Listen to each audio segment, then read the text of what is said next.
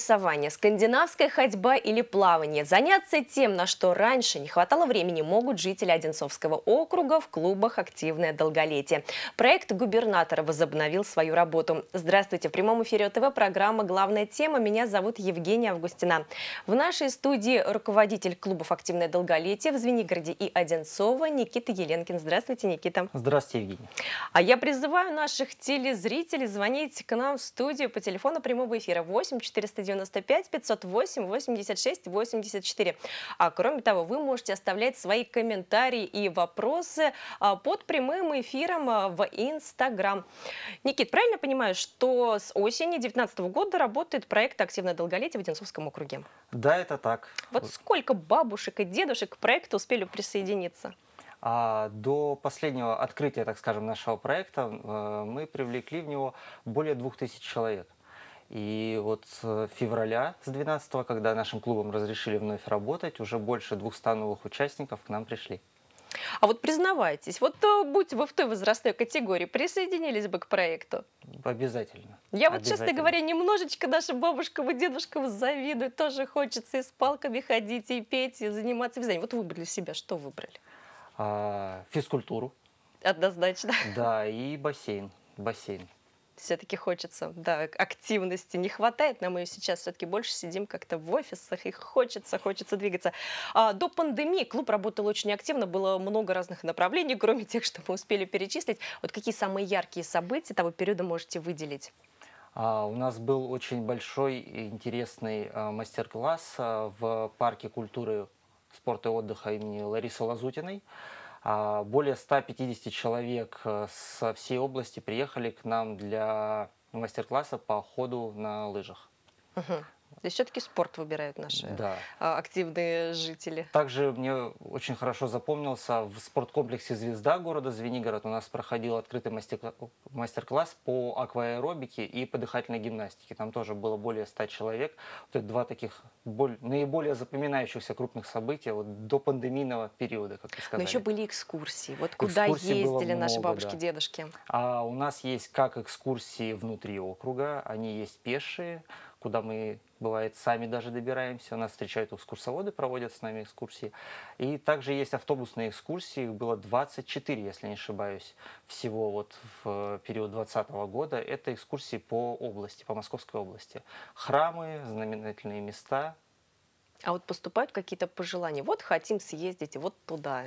Очень многие сейчас хотят ездить в Патриот парк и в новый музей Зои Космодемьянской. Планируете туда поездки? Да, обязательно. Я думаю, что уже в мае мы стартанем. То есть осталось потерпеть чуть-чуть, как раз потеплеет, будет красиво, все расцветет. ну, надеюсь, так. что наша съемочная группа присоединится. Вот, между прочим, а, к экскурсии в усадьбу Захарова наша съемочная группа отправилась вместе с участниками проекта «Активное долголетие». Это было в августе прошлого года. Давайте вспомним, как это было по местам детства великого поэта. Участники проекта «Активное долголетие» посетили парк Захарова, узнали о подробностях жизни Александра Сергеевича Пушкина в бабушкиной усадьбе. Оторваться от увлекательного рассказа экскурсовода Людмилы Классинской было невозможно. Даже моросящий дождь не испортил настроение гостям. Людмила Федоровна – это вообще кладезь, необычайный человек. Я с ней впервые познакомилась э, в нашем литературном объединении «Парнас Одинцовский», «Лито» называется. И мы когда разговорились с ней, она говорит, а я еще экскурсоводом была. Я говорю, Людмила Федоровна, вы представляете, мы очень бы хотели, поскольку вырвались из карантина, очень бы хотели попасть на экскурсию. Вот Захарова, Большие везем. Она сказала, я с удовольствием это сделаю и проведу. Поистине русский бунтарский дух и уникальный литературный слог сформировался у поэта именно в этих местах, рассказывает Людмила Федоровна. Детство среди крестьянского быта и традиций в окружении природы годы оставили след в жизни и литературе Пушкина. Есть такая как бы байка или что сказать, такая история неподтвержденная, что он был, как его дворовые называли, не мой мальчик. И, возможно, благодаря тому, что вот летом он бывал здесь, в моем любимом Захарова, как он писал ну, к своему другу Юдину, он э, как раз приобрел вот этот дар быстро говорить, общаться и даже хулиганить. Потому что он очень любил такие русские народные игры, как лафта, и с дворовыми детьми часто купался в пруду. Слушать такие истории, гулять и наслаждаться природой, отдыхать духовно – большое удовольствие, говорят участники экскурсии. Именно теперь, выйдя на пенсию, для этого появилось свободное время. У меня сейчас так сложилось обстоятельство, что я могу активно посещать экскурсии. Я очень благодарна активному долголетию а, за такой проект, э, что могу столько несмотря на какие-то ограничения, столько посещать экскурсии. Участники программы «Активное долголетие» посетили уже две экскурсии. Познакомились с историей рода Голицыных в Веземах, узнали о дачных театральных сезонах на Баковке. Теперь в их копилке еще и поездка в Захарова.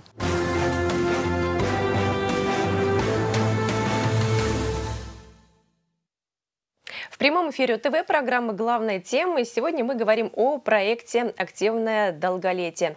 Никита, ну были занятия разные, были экскурсии, потом наступила пандемия. А, и первыми на самоизоляцию как раз ушли, я так понимаю, что люди из возрастной категории участников проекта да. «Активное долголетие». Вот насколько им тяжело дался этот период? Чем занимались люди, привыкшие к активному образу жизни? А, очень, конечно, они засиделись, потому что первый раз нас отправили на 4 месяца, так скажем, на удаленный режим и потом еще на 5. То есть вот в общей сложности 9 месяцев. Но мы не давали им скучать в это время.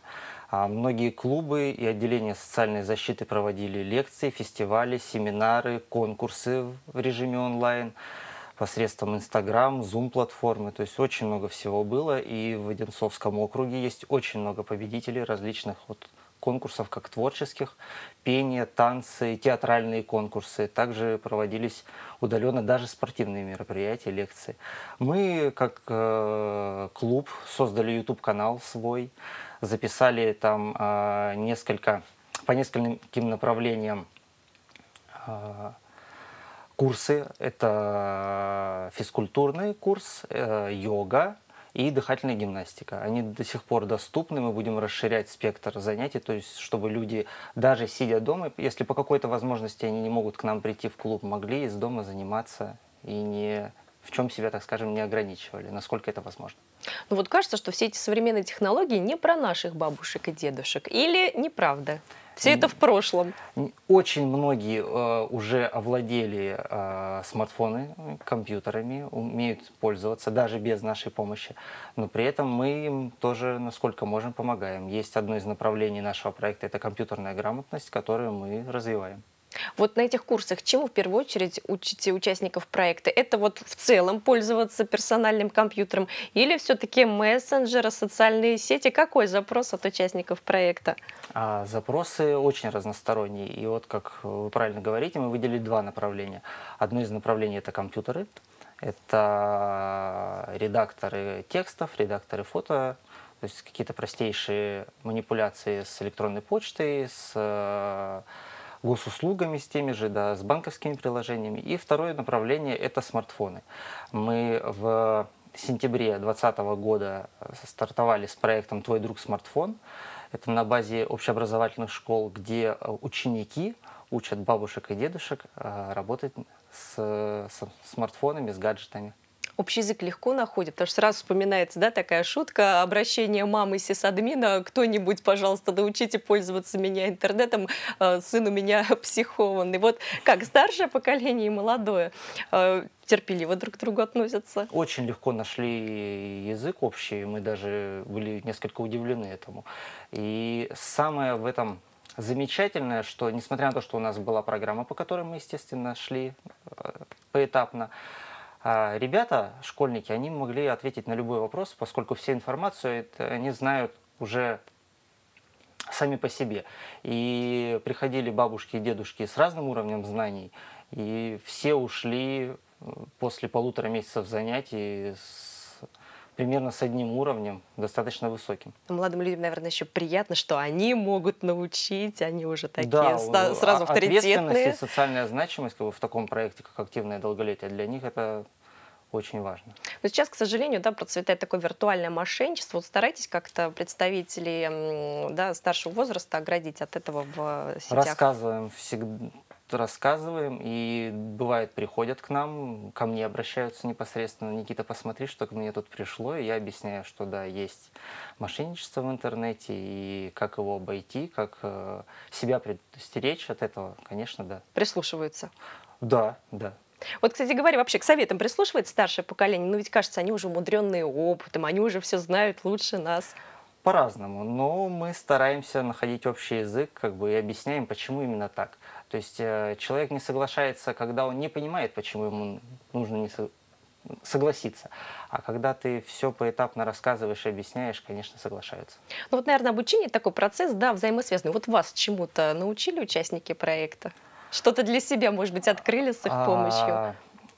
очень много интересных историй узнаешь из общения. То есть действительно у нас есть э, люди, которые а, даже прошли войну, то есть к нам и ветераны приходят. У нас есть люди, которые бывали в различных жизненных ситуациях, и вот каждый день, каждый день это новые истории и очень интересные. Ну и тогда, слава богу, клубы возобновили свою работу, но наверняка с соблюдением всех мер. Вот расскажите, пожалуйста, как защищать представителей старшего поколения от коронавируса? Основное требование, которое сейчас есть к участникам проекта при занятиях и мероприятиях в помещении, требуются справки либо о вакцинации, либо о наличии антител коронавирусной инфекции. Вот это основное. Те мероприятия и занятия, которые проходят на улице, как, например, скандинавская ходьба, туда можно приходить свободно. Ну, я так понимаю, что и прививку можно сделать в клубе «Активное долголетие». Да, так точно. То есть вот как узнать информацию, когда можно прийти сделать а прививку? А ближайший прививочный пункт выездной будет работать в клубе «Активное долголетие» города Одинцова 13 апреля. А все, все то же самое, как на обычном прививочном пункте, да, правильно? также осмотр у врача после медсестра уже сделает вам прививку, если врач вас допустит. И через три недели также в клубе «Активное долголетие» да, да, да. каждые три недели мы проводим вакцинацию. То есть сначала у нас вакцинируется, кто уже был, ставят вторую, проходит второй этап вакцинирования, и после мы приглашаем тех, кто пришел к нам впервые. Вот насколько старшее поколение активно а, прививается? А, знаете, достаточно активно. То есть каждый прививочный день, когда у нас есть, вот каждые три недели, более 30 человек к нам приходят. Есть они такие самоответственные, наверное, да. в нашем обществе. Сколько всего клубов активно в долголетии сейчас в Одинцовском округе работает? А, два централизованных клуба в городе Одинцове и Звенигороде. И также более 40 мест занятий по округу. Это дома культуры, физкультурные оздоровительные заведения, учреждения, школы, бассейны. Ну и вот так, если перейти к теории, э, вообще главная цель проекта «Активное долголетие» какая? Вовлечь э, представителей старшего возраста в активный образ жизни или, может быть, какие-то другие цели преследует? А, в первую очередь, это, конечно, организация разнообразного досуга. Это, вот мы уже с вами говорили, фестивали, различные праздники, мероприятия, лекции. И также это развитие и, что очень важно, поддержание творческих спортивных способностей. А вот по направлениям как распределяете участников? Э, а, по, их, по желанию, их желанию или по конечно, там да. вот дедульечка явно спортивный, пусть занимается плаванием? Нет, мы, конечно, предлагаем, но выбор всегда остается за ними. Кто может присоединиться к проекту? А, житель Московской области Одинцовского городского округа пенсионного возраста. Это женщины старше 55 лет, мужчины старше 60. Еще есть категория, это лица, вышедшие на пенсию с 50 лет за выслугу. А что нужно сделать для того, чтобы вот присоединиться к семье активного долголетия? Найти место занятия ближайшее к себе, выбрать, куда вы хотите пойти и прийти. То есть, в принципе, ничего сложного ничего абсолютно сложного. нет. Немножко активности. Вот на начальном этапе, а дальше да, уже, нужно наверное... проявить э, собственную активность, собственный энтузиазм, как бы найти место занятий, прийти заниматься. Ну вот самых молодых мы примерно понимаем, какого они возраста. А вот самые такие, скажем, мудрые участники активного долголетия, это сколько примерно лет? За 80. Многим членам нашего клуба за 80. В основном кто? Женщины или мужчины? Кто женщины, у нас сам... женщины. Вот так женщины. всегда. Вот почему, как вы думаете? А, дедульечки стесняются или и так у них все хорошо, самодостаточно? А, Где-то, наверное, стесняются. Некоторые думают, что активное долголетие – это только про вязание, вышивание. И вот так немножко косо на нас посматривают. Но нет, у нас очень много физкультурных активностей, спортивных. Также мы планируем мероприятия провести летом только для мужчин – Поэтому будем раскрывать секреты? Нет, пока не будем, пока не будем. Пока не будем. Я вот теперь переживаю, как у вас быстрое свидание прошли при маленьком количестве дедушек. Недавно было замечательное мероприятие. А на свидание не пришли. Очень Дедушки даже, хитрые. Да, даже дедушек было больше, чем бабушек по заявкам изначально. Вот такие вот дедушки. Сначала сидят дома до свидания. Ну, молодцы, стоит им отдать должное. Да, да. А вот какие, может быть, хитрости используете, чтобы из дома вытащить бабушек и дедушек одинцовских? А, такой термин, как сарафанное радио, да, у нас есть. И мы просим всех наших активных членов, ну, извините за тавтологию, активного долголетия, да, рассказывать, рассказывать, рассказывать своим друзьям, знакомым, родственникам, соседям о том, что мы есть. Сначала пришел один, потом привел соседку. Да, да, да.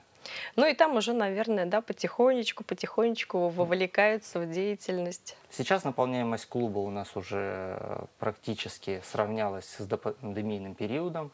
Мы активно работаем над расширением мест занятий и над расширением направлений. Ну вот, в принципе, алгоритм действий, да, человек пришел, вот хочу в активное долголетие, да, он записался, а дальше он просто может посещать занятия или какая-то предварительная запись на то или иное занятие, она нужна? Ну, конечно, в каждом месте занятий есть расписание, да, которое утверждено, есть э, списочное количество, сколько в группе занимается, и во все свободные, так скажем, группы, во все свободные направления можно смело присоединяться.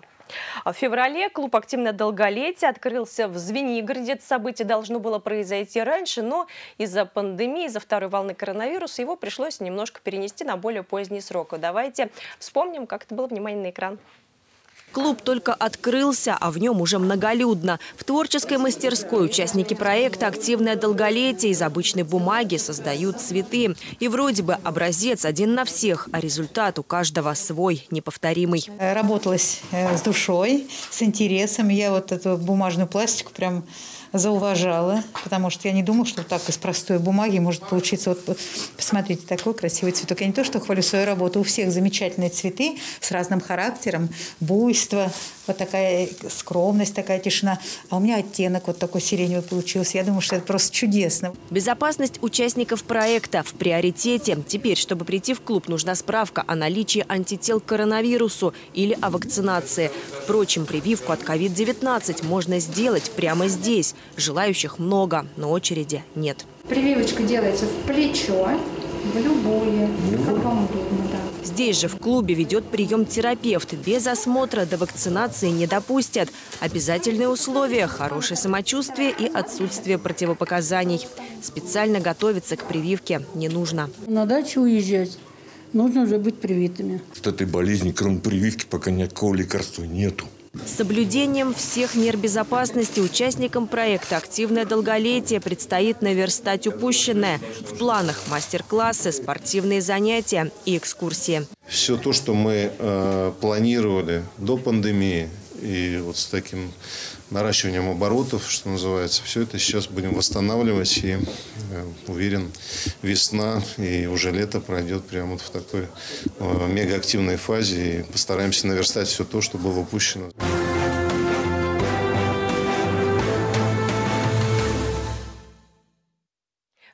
Эфире ТВ программа «Главная тема». Сегодня мы говорим об активном долголетии. 8 495 508 86 84. Звоните и задавайте свои вопросы. Гость в студии. Никит, вот, кстати, сейчас хорошая тема была задана в сюжете. Летом начинаются дачи. Вот э, сможете ли вы отбить участников активного долголетия у сада и огорода? А, ну, во-первых, не у всех есть дачи. 1-0 а, в вашу пользу. Да. А во-вторых, мы будем проводить очень много уличных мероприятий, массовых. Я думаю, что будет очень много желающих их посетить. Вот, кстати говоря, а дачно-огородную тему не планируете развивать в активном долголетии? А, э, планируется создание одного из направлений. А, называться оно будет растениеводство. Вот. Но в планах пока прорабатываем. Это будет теоретический курс или, может быть, с практическим применением? Ну, как растениеводство без практического применения, конечно. То есть все будет в нем успешно сочетаться.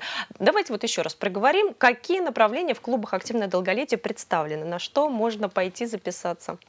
А, скандинавская ходьба, дыхательная гимнастика, йога, физкультура и плавание. Вот пять спортивных направлений. также творчество, компьютерная грамотность, экскурсии, про которые мы с вами уже много говорили, а, пение и танцы. Вот пение и танцы мы сейчас как раз в нашем клубе города Одинцова активно вот привлекаем туда специалистов. А какие из этих направлений самые востребованные? Где все больше? востребованы. Все востребованы. Все. Очень, э, то есть неспроста их выбрали, да, вот эти вот 10 направлений.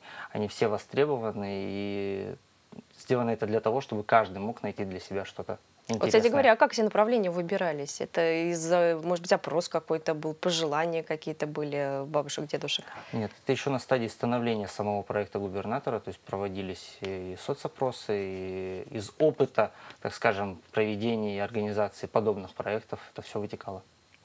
А кто занимается с участниками проекта? Вот расскажите о педагогах, об инструкторах. А если мы говорим о спортивных направлениях, то это профессиональные инструкторы.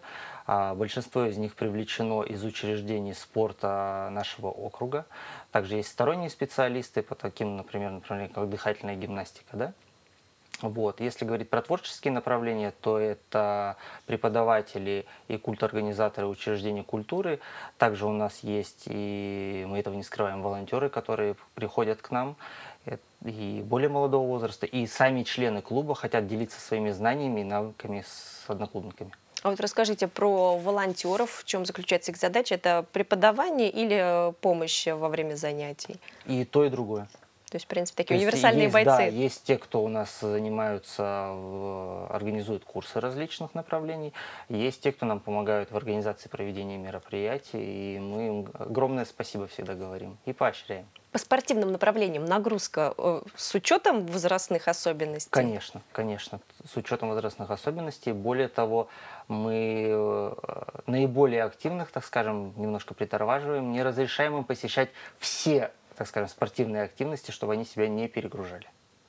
Ну вот как вы думаете, да, э, это очень здорово, что у людей в возрасте стремление к активности. Вот молодежь этим похвастаться, к сожалению, не может. Вот Почему так? Это воспитание, да, может быть, еще советское. Или просто хочется больше движения, потому что времени свободного больше стало на пенсии.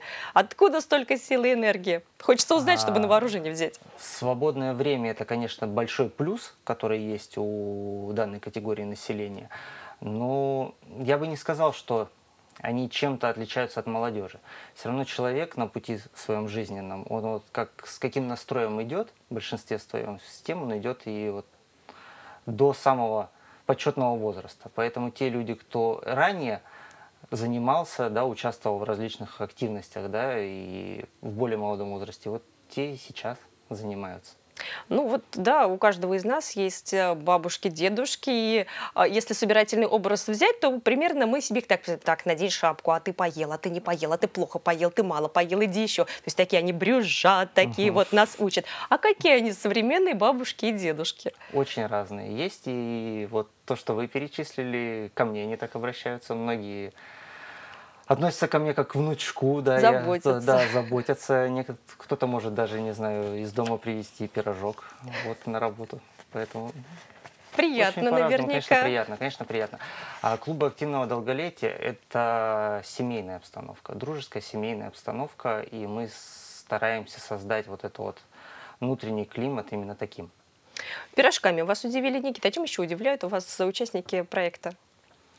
А, ну, как я уже говорил, историями, истории не переслушать, так скажем. Вот, может быть, поделитесь какой-нибудь историей, вот, которая вас особенно зацепила. А, одна из представительниц нашего клуба, а, она ветеран Байконура. Вот так она себя мне представляла. Вот она рассказывала истории про то, как на Байконуре вообще велась деятельность, как запускали космические корабли. Вот, вот это вот отложилось в памяти. Да, это действительно очень интересно. Очень хочется, чтобы проект «Активное долголетие» дожил и до нашей пенсии. Очень хочется к нему присоединиться, но молодежь никак не берете. Вот только в качестве волонтера можно присоединиться. В качестве волонтера, преподавателя, инструктора, если к нам обращаются с какими-то интересными проектами, да, ну, которые могут быть интересны в первую очередь нашей целевой аудитории, мы с удовольствием рассматриваем данные предложения. А отбор какой-то проводите? Вот там тех же волонтеров есть какие-то критерии, требования? А, В первую очередь это личное общение, личный контакт. Если мы понимаем, что мы можем идти к одной цели, у нас общие интересы, то Почему бы Мы и нет? работаем, да. Почему бы и нет? На этой неделе участники проекта «Активное долголетие» приняли участие в соревнованиях по скандинавской ходьбе. А вот на что обращали внимание судьи, давайте узнаем.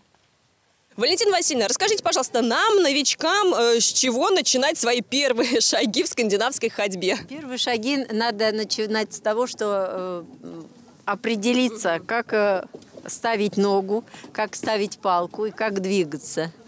Вот вы ставите правую, а левую э, палочку напротив и пошли вперед. Для меня эти шаги, пусть пока и без палок, первые, а Валентина Чижова – спортсменка со стажем. Ей 73. В клубе «Активное долголетие» жительница Одинцова уже второй год. Самая любимая у меня физкультура. Э, Я хожу Глебу Александровичу на э, занятия. А скандинавской занимаюсь потихоньку. Э, И воп- э, вообще стараюсь во всех мероприятиях участвовать по возможности. И в соревнованиях по скандинавской ходьбе в парке Раздолье Валентина Васильевна решила участвовать. Готовилась серьезно, как и другие спортсмены из активного долголетия. Мы пригласили участников клуба долголетия из города Звенигород, Старый городок, Голицына, Одинцова для того, чтобы приняли участие по технике прохождения в этом виде. А, Также у нас запланировано дружеское чаепитие для всех, награждение самых активных. Перед стартом обязательная разминка. Первые упражнения на внимательность. Буду показывать неправильно. То, что я говорю, делаем так. Понятно? Готовы? Руки на пояс. Вперед. В сторону. Вверх. Вперед. В сторону. Вниз.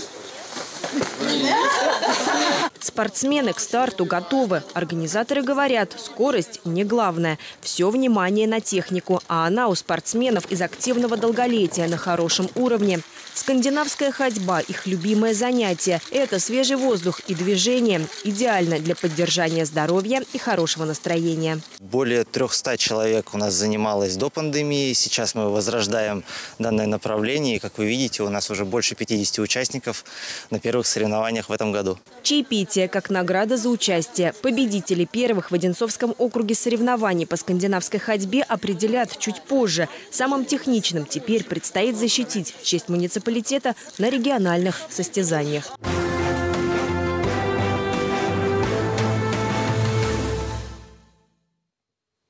В прямом эфире ТВ программ «Главная тема». А Сегодня мы говорим о проекте «Активное долголетие».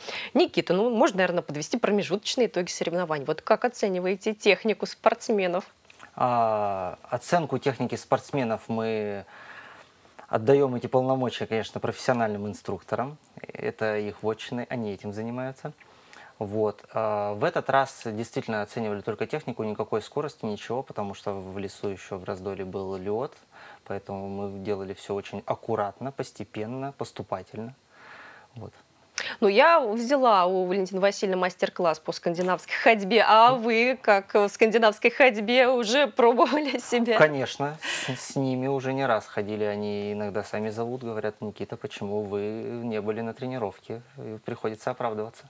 Ну и как, не уступаете в технике подопечным? Уступаю, уступаю. У них все-таки опыт и чистота проведения занятий, которые они ходят, они в этом меня переигрывают. Вот так. Так что есть к чему стремиться. Ну, я так понимаю, что в перспективе возможны областные соревнования. И вот правильно ли я поняла, что эти соревнования, да, по скандинавской ходьбе были вот чуть ли не первыми в Московской области? А, Я не думаю, что они были первыми в Московской области, но в нашем округе а, в этом году, в, после, в постпандемийный период, они были первыми, да, и мы готовимся к организации большого турнира. Ну вот как вы думаете, смогут ли наши спортсмены защитить Я честь уверен. Одинцовского Я округа? уверен, не сомневаюсь. А сколько раз в неделю они тренируются? А, клуб города Одинцова тренируется сейчас э, три раза в неделю с 11 до 12 на, в парке Баранка. Ну, то есть подготовка-то такая достаточно администрация, да. серьезная. Там на самом деле надо было видеть, как они готовились к этим соревнованиям. Даже перед разминкой они ходили с палками рядом со сценой. То есть ну, достаточно серьезно относятся. Они очень серьезно относятся ко всему, даже к самым каким-то малейшим а, соревнованиям, да, либо просто занятиям. со всей ответственностью. А, скандинавская ходьба – это одно из самых популярных направлений, оно действует. А вот что планируете добавить в ближайшее время? А, из обязательных мы, как я уже говорил, планируем э, танцы вести. Очень просят английский язык. Мы всегда спрашиваем, ну так вот каверзно, для чего. Многие говорят, что для заграницы и просто для развития памяти. Поэтому вот я думаю, что к лету мы с этим направлением тоже активно уже выступим. Ой, Никита, готовьте. Следующая, мне кажется, экскурсия в Лондон будет. И, в общем-то, неплохо. А, английский язык, танцы. Вот танцы какие? И хватит а, ли дедушек? Я вот, собственно, к чему. Танцы тоже по разным направлениям просят. Э, как э, активные самые такие э, зумбу, так и классические и бальные танцы. Поэтому вот сейчас работаем с преподавателями. Подходящих кандидатур. Ну, на самом деле, график у наших дедушек и бабушек очень насыщенный. Вот что в ближайшей перспективе? Насколько я знаю, завтра мероприятие будет к 1 апреля. Да, завтра у нас мероприятие. К сожалению, Запись туда уже закрыта, поскольку у нас сейчас есть действующие ограничения по количеству участников. На следующей неделе будет э, два мероприятия как минимум. Это медицинская лекция будет ко Всемирному дню здоровья приуроченная. Еще можно записаться? Да, да, да, да. Мы ее анонсируем только буквально завтра. И будет мероприятие, э, презентация книги, сборника стихов нашей местной поэтессы. И это вот только на ближайшее время? Ну вот это на следующую неделю, на самое-самое ближайшее. Вообще у нас проходит э, от двух до пяти мероприятий в месяц, поэтому на и... любой вкус и цвет. И все они такие достаточно посещаемые, то есть народ. Конечно, у нас никогда на мероприятиях нет свободного места. И это очень здорово. Но мне кажется, что есть еще желающие присоединиться. Вот давайте напомним, кто может присоединиться к проекту. А жители Подмосковья пенсионного возраста – это женщины старше 55 лет и мужчины старше 60 лет. Регистрация в Одинцовском округе обязательно или житель Подмосковья любой? А если участник приходит заниматься в отделение социальной защиты, то там ему предложат еще заполнить дополнительное заявление. Вот. Если э, участник нашего проекта приходит в учреждение культуры, спорта, либо просто в централизованный клуб, а, он просто приходит, записывается на занятия, как мы с вами уже говорили. Есть одно обязательное еще, а, не так скажем, не условие, а пожелание, чтобы проходить на занятиях человек должен приходить с социальной своей картой. Мы этой социальной картой отмечаем его посещаемость и следим за тем, чтобы он не пропускал занятия. А за непосещение не выгоняете? Нет, не выгоняем. Это очень хорошо. А Э, смотрите, справка вакцинации нужна для да. посещения занятий в помещениях. Вот э, еще какие-то специфические документы нужны для того, чтобы стать участником проекта? Нет, ничего не нужно. То есть, в принципе, все достаточно, достаточно легко максимально просто. просто, да. То есть здесь нет никакого желания усложнять сам процесс, да, и на самом первом этапе как-то делать жизнь сложнее, да. Поэтому все максимально просто. Главное желание. Главное желание. Вот смотрите, от подачи заявления на вступление в клуб до посещения занятий, какой промежуток времени? Или, в принципе, вот сегодня я написала заявление, а завтра я уже так могу точно. записаться на любое занятие? Сегодня можете записаться на любое занятие. То есть, в принципе, ничего приходите, ждать. да, если со спортивной формой к занятию приходите, то сразу переодевайтесь и идите заниматься.